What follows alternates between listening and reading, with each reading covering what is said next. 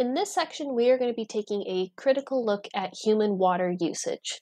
What types of human activities demand the most water, uh, and how that is affecting global freshwater supply. Freshwater is a significant sustainability issue because humans put a big strain on the freshwater resources that are available on our planet. The demand for water by humans is also exacerbated by changing climate conditions that are bringing about drought and water scarcity conditions in many regions, including our own.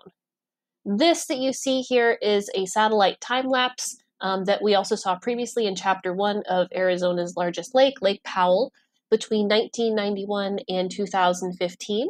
And you can see how the lake has been drying up. On top of that, human demand for fresh water is going to continue to increase in future years because the world population is continuing to grow and people will require fresh water to serve their domestic needs. And the growing world population will also need to be fed, and growing food takes a lot of water. In fact, 70% of freshwater withdrawals worldwide are used for agriculture. And finally, um, much of the population growth is slated to take place in countries that are developing and in the process of industrializing. And with that process comes a shift uh, that we are already seeing to a diet that includes more meat and dairy products. And meat and dairy products are more water intensive to produce than plant foods because they are another step up the food chain. So we're going to come back to the issue of water scarcity later in this section, but first we're going to look at water use in the US, including um, what that water use has looked like in the past and also what it looks like today.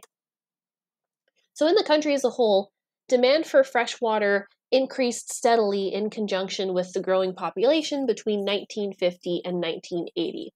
In this figure, what you see is the total US population represented by the red line, and the bars represent freshwater withdrawals. The white bar is the amount of groundwater being withdrawn, the blue is the amount of surface water being withdrawn, and then the black bar is the total of the two together. So you can see the population keeps going up, but at some point the water withdrawals stabilize, and then later they even drop. So, why did this happen? Well, you'll remember me saying just a moment ago that agriculture accounts for 70% of water usage worldwide. And in the US, agriculture is actually a close second to um, thermoelectric power in terms of water use by sector, but agriculture is a huge driver of water consumption nonetheless. And the years 1950 to 1980 were the height of the Green Revolution, um, agriculture was expanding into new regions, uh, namely drier regions that didn't have the rainfall to support cropland, but were relying on irrigation. So in this graph, you can see the number of irrigated acres in the US shown in the black line, and you can see a sharp upward trend in the number of irrigated acres between about 1940 and 1990. And after that, things kind of stabilize. But the other thing you'll notice is that the line shown in red represents the water used per irrigated acre. So, in other words, how much water is being applied to an acre of cropland on average. And this red line starts going down and has continued to trend downward as more farmers and large agricultural operations adopt more efficient irrigation practices, like drip irrigation or sprinkler irrigation, which deliver the water to the plants in a more precise way compared to traditional irrigation approaches that involve flooding the entire field. So the number of acres of irrigated croplands stopped going up so sharply, and then people got more efficient about how they delivered their irrigation water, resulting in a stabilization of freshwater withdrawals. The other thing that happened is that the thermoelectric power sector started using less water. So, this is water that is used to cool power plants and generating stations. In this figure, the yellow bar is the one that shows water withdrawals for the thermoelectric power sector. And you can see how it has dropped steadily from the year 2005 onward. And this is because there has been a shift away from coal power plants and toward natural gas as a fuel source. Um, and in, in addition, power plants have become more efficient about the way they use their water. So, for example, just in the four year period between 2015 and 2019, Power plants in the US use 20% less water to produce the same amount of energy because they were using that water more efficiently.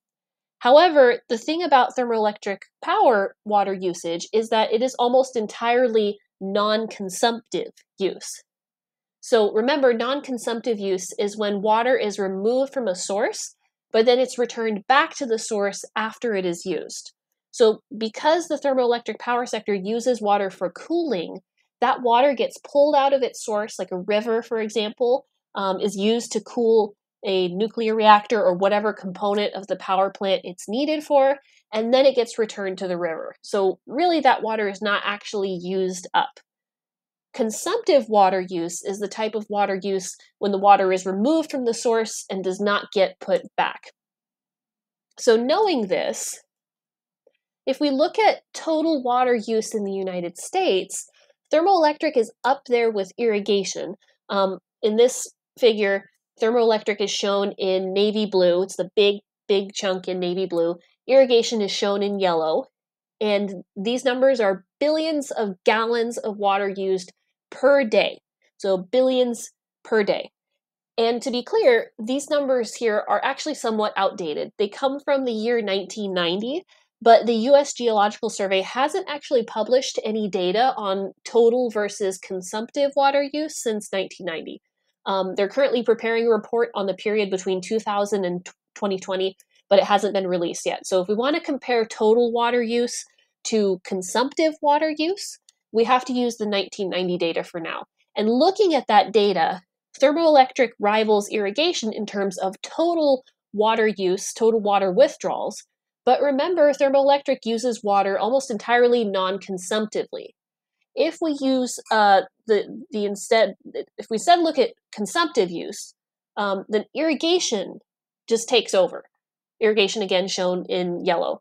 The agriculture sector is by far the most significant user of water in a consumptive manner, meaning that this water does not get returned to the source. 77 billion gallons every single day are used for agricultural irrigation in the US.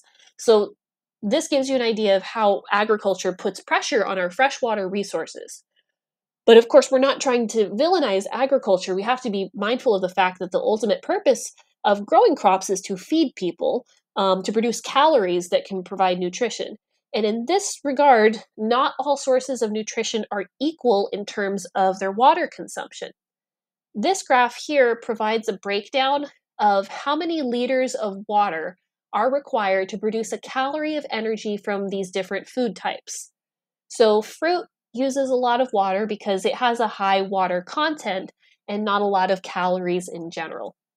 On the right side of the graph, milk, eggs, and red meat are also high because in order to raise cows for milk or meat or raise chickens, you first have to grow the crops that are used to create their feed. So it's sort of like that biomagnification phenomenon that we talked about previously, where as you move up the food chain, the amount of water required to support that organism becomes more concentrated. You don't just have to consider the water that the cow drinks, but also all of the water that was used to grow um, you know the corn wheat barley all, all of the grains that are being used to feed that cow but the really interesting one is nuts nuts require a higher investment of blue water per calorie than any other category of food um, a number that puts this in perspective is the fact that in california one of the biggest agricultural states in the us almonds alone use 17% of all agricultural water usage. And there are over 400 different crops that are grown commercially in California. And just almonds, only one type of nut, uses 17% of the agricultural water. So raising nuts is a very water inefficient process. We can also look at calories sourced from different types of nutritional molecules. So, for example, this graph shows the amount of liters of blue water required to produce not just any calorie, but a calorie of protein specifically, which protein is an essential source of nutrition that your body needs. Fruits are again very high because there is very little protein in fruit and they have a very high water content. But then again, we have nuts showing up with over 20 liters of water being required to produce a single calorie of protein in the form of nuts. So, even with the food chain effect that occurs with food sources like milk and eggs and red meat, nuts are still far less water efficient at delivering protein to your diet. the most water efficient source of protein is legumes, which includes things like bees, beans and peas. Um, a final important lens for viewing water consumption in the US is patterns of consumption by region. So in this figure, the dots of different colors uh, correspond to water consumption by sector. So yellow is thermoelectric, green is irrigation, blue is public supply like domestic and municipal city water, uh, red is industrial, and then gray is other. And as you can see, water withdrawals in the western half of the country are primarily dedicated to irrigation because there's a lot of cropland in this region, but also relatively less rainfall compared to the east, um, where the primary driver of withdrawals in the east is thermoelectric power. There's a lot more going on in this image too, so I encourage you to pause the video and, and read in more detail the text on the image if you're interested um, in more of the nuances of how water use varies around the country. The final topic that we'll touch on before closing out this section on water use is water scarcity. So, water scarcity is the term used to describe situations where the need for water surpasses the available supply. And there are two types of water scarcity. The first is physical scarcity, which is where there's not enough water in existence to meet the demands of a region. So, the southwest US is an example of a region that is headed in the direction of physical scarcity as our drought conditions continue to erode our water supply and we continue to overdraw our aquifers. The other type is economic scarcity, and this is where um, enough fresh water exists and is available to meet a region's needs, but the infrastructure to treat that water and make it safe to use or to supply it to people does not exist. Because even regions of the world that have abundant amounts of water can experience water scarcity if they don't have water treatment plants or water line systems, sewage systems, uh, all of that other infrastructure that's needed to maintain a stable supply of safe water. So, economic scarcity is primarily experienced by people in developing nations that are still in the process of industrializing, because these nations often lack the resources to invest in some of the most effective approaches to minimizing water scarcity, which include more efficient methods of agricultural irrigation, transitioning to more water efficient appliances, uh, building water storage infrastructure like dams and reservoirs that can stabilize the amount of water that's available year round rather than relying on seasonal ebbs and flows, and reducing water pollution by minimizing agricultural and industrial runoff of hazardous chemicals into the water supply. So, in our next section, we are going to be taking a closer look at this last one as we get into water pollution and water quality issues.